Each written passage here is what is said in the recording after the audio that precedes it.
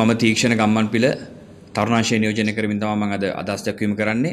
මම හිතන්නේ මේ Channel 4 නාලිකාව මෑතකදී ඉදිරිපත් කර වැඩසටහන වාර්තාමය වැඩසටහන පිළිබඳ කරුණු රාශියක් මේ මාධ්‍ය සාකච්ඡාවේ කතා වුණා.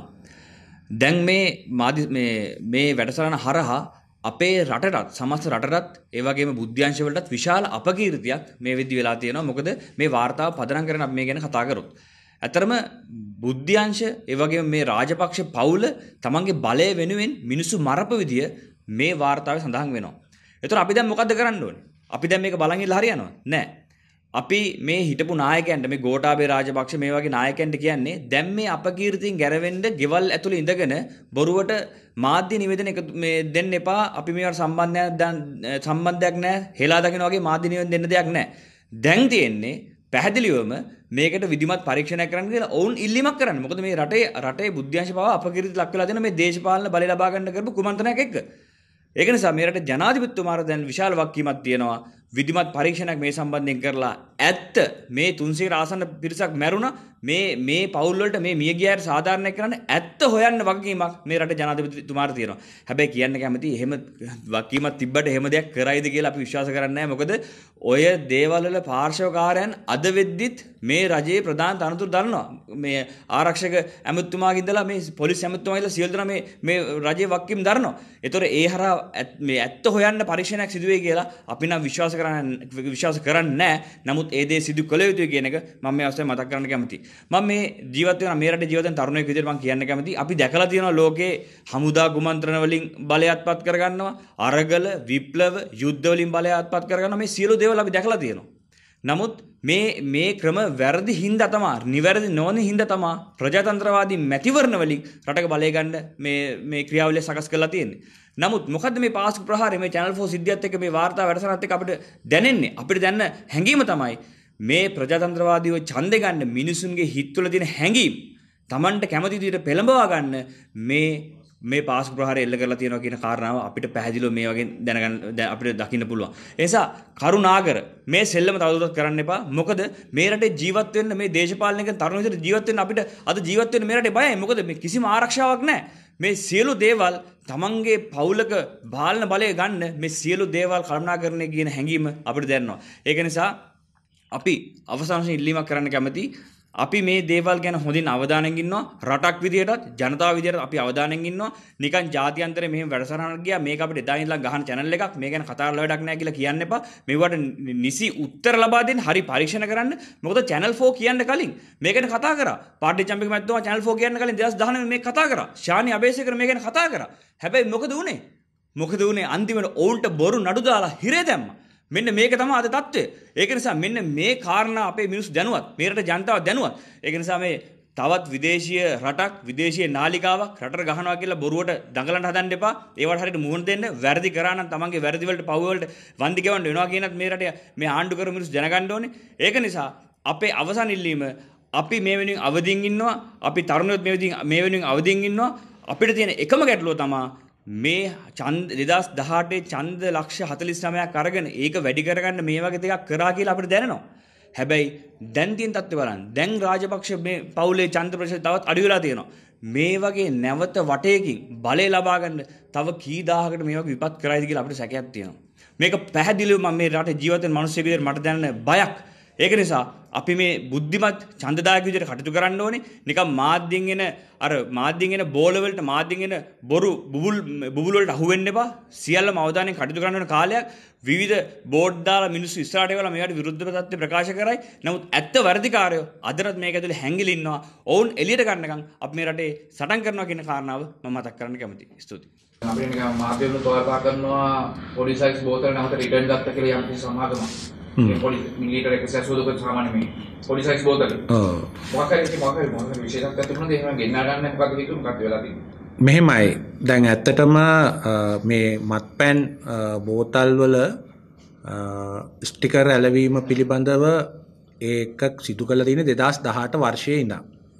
ඒ මගින් බලාපොරොත්තු වුණා සුරක්ෂිත මත්පැන් බෝතල් ලබා දීම පිළිබඳ ක්‍රියාදාමය. නමුත් මේ ස්ටිකර් අලවන්නේ සමාගම් 21ක් විතරයි.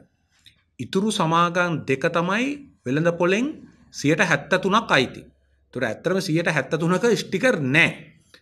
අනික් ටිකේ තමයි ස්ටිකර් තියෙන්නේ. ඉතින් කොහොම වුණත් මේ ව්‍යාජ ස්ටිකර් සැරිසරනවා කියන චෝදනාව පාර්ලිමේන්තුවේ අනික් තැන්වලත් නැගුණට මේ පිළිබඳ විධිමත් පරීක්ෂණයක් කළ තිබුණ නෑ. ඒ නිසා ක්‍රමෝපාය එහමනත්තන් ක්‍රමසාවිදි කමිටුවේ සභාපති හැටියට අනිකුත් මන්ත්‍රියතුමාලාගේ සහයෝගෙන් අපි පාර්ලිමේන්තුවට කැඳෙව්වා මේ ස්ටිකර් නිෂ්පාදනය කරන ඒ ආයතනය සුරාබදු දෙපාර්තමේන්තුව ඒ වගේම මේවා විකුණන අලවිහල්කරුවන් සහ මේ අඳුනා ගැනීම කරන ස්වාධීන පරීක්ෂකයෝ. අපේ මන්ත්‍රීතුමාලා ඉදිරියේදීම ඔප්පු වුණා ව්‍යාජ ස්ටිකර් තිබෙන බව. ඒ මත්පැන් බෝතල් කීපයක් අපි මිලදීගෙන බත්තරමුල්ල ප්‍රදේශයෙන් ගෙනල්ලා පාර්ලිමේන්තුව තුළ මේ පරීක්ෂණය කළේ. ඒක පිළිගත්ත සුරාපදු නිලධාරනුත් ඒක පිළිගත්ත ඔය ස්ටිකර් සමාගමක්. ඒ අනුව අගෝස්තු 10 වෙනිදා අපි නිර්දේශයක් කරා අපේ කමිටුවෙන් සභාපතිවරයා හැටියට මම වහාම වැටලීම් කරන්න කියලා මේ ව්‍යාජ ස්ටිකර් සම්බන්ධයෙන්. ඒ වගේම මේ සම්බන්ධයෙන් අප වෙත වාර්තාවක් දෙන්න කියලා අගෝස්තු 30 වෙනකොට. ඒ අනුව අපිට වාර්තාවක් දීලා තියෙනවා. ඒ පිළිබඳ සාකච්ඡාවක් පැවැත්වුණා.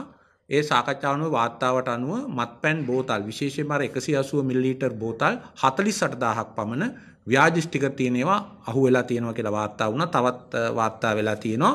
එතකොට මේ හරහා රජයට දවන්ත බදු මුදලක් අහිමි වෙලා තියෙනවා.